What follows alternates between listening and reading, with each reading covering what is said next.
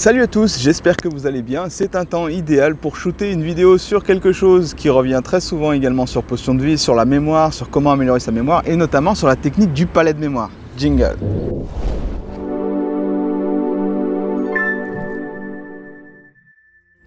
Alors pour rappel, si vous ne savez pas ce que c'est qu'un palais de mémoire, je vous invite à découvrir la vidéo ci-dessus qui vous indiquera exactement comment on procède. Comme vous le verrez, ce n'est pas quelque chose de difficile, c'est quelque chose de relativement puissant. Lorsque j'ai lancé Potion de vie en 2011, c'est une des techniques que j'ai utilisées en priorité pour faire tout un tas de défis de mémoire et notamment repousser les limites de, de ce qu'on pourrait penser possible au niveau de la mémorisation des données. Le truc, c'est que cette technique, quand vous l'utilisez la première fois, vous avez tendance à choisir comme palette de mémoire chez vous les endroits que vous connaissez déjà. Et c'est une très bonne chose.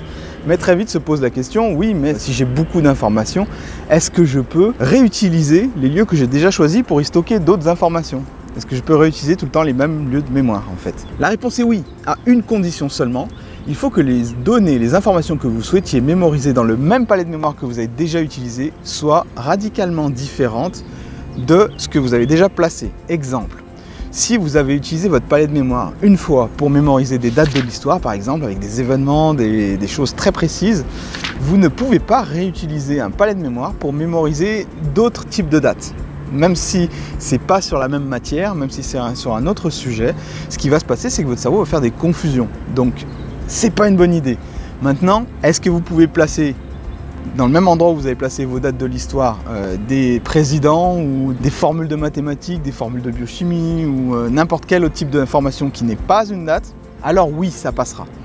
De toute façon, dites-vous bien qu'un palais de mémoire, quand vous l'utilisez, au bout d'un moment, vous allez tellement vous souvenir facilement des informations que vous y avez placées que vous n'aurez plus besoin du palais de mémoire lui-même en fait. C'est-à-dire que les informations vont devenir automatiques. Et ça, c'est quand même le but recherché. Vous prenez un palais de mémoire, oui, mais les choses que vous y mettez dedans, les informations que vous souhaitez mémoriser dedans, elles n'ont pas pour but à y rester tout le temps. Au bout d'un moment, elles vont devenir directement dans votre mémoire à long terme et vous n'aurez plus besoin de penser dans quel lieu vous avez mis ça pour euh, euh, vous souvenir que vous avez placé telle ou telle chose. Donc ça, c'est la magie du palais de mémoire. Votre palais de mémoire, en fait, est un lieu de transition entre votre mémoire à court terme et votre mémoire à long terme. C'est comme un lieu de passage qui est particulièrement puissant et au bout d'un moment vous n'aurez absolument plus besoin de penser consciemment aux images que vous avez mis dans le palais de mémoire parce qu'elles vont venir directement dans votre mémoire à long terme des images automatiques. Par exemple, si je vous demande quelle est la capitale de la France, euh, vous n'avez pas besoin de penser consciemment euh, où est-ce que vous l'avez mis dans votre palais de mémoire, vous savez tout de suite que c'est Paris. Voilà. Euh, c'est un peu le même principe avec le palais de mémoire.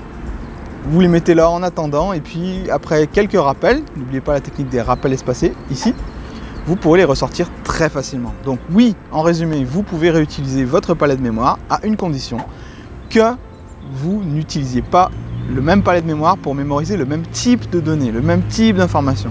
Donc voilà, si vous voulez en savoir plus, si vous voulez aller encore plus loin avec le palais de mémoire, je vous recommande de télécharger mon guide gratuit, une mémoire exceptionnelle en 5 étapes, ici.